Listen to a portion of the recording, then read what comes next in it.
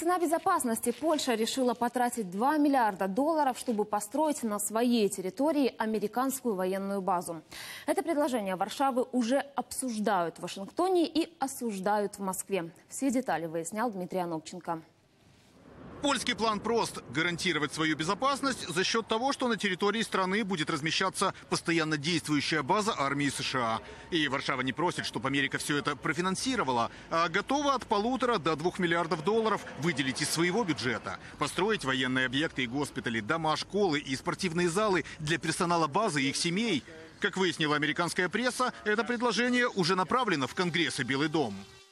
И здесь, в Вашингтоне, оно явно встретит одобрение. Ведь одно дело, когда союзник просит финансовой помощи, и совсем другое, когда готов большую часть расходов взять на себя. И американскому военному ведомству придется только создать новые подразделения и направить туда солдат и офицеров. Причем речь идет о размещении целой дивизии. А по армейским правилам это от 12 до 25 тысяч человек.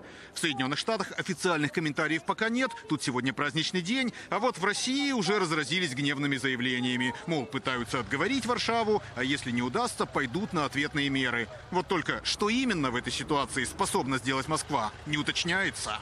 Но эта риторика способна только раззадорить конгрессменов, когда дело дойдет до обсуждения в Сенате. Ну а глава Пентагона Джеймс Мэттис уже заявил, что американское военное ведомство готово нарастить свой контингент в Польше.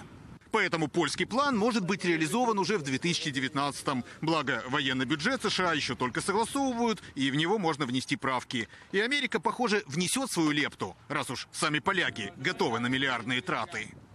Из Вашингтона Дмитрий Анопченко, Юрий Романюк, Американское бюро телеканала «Интер».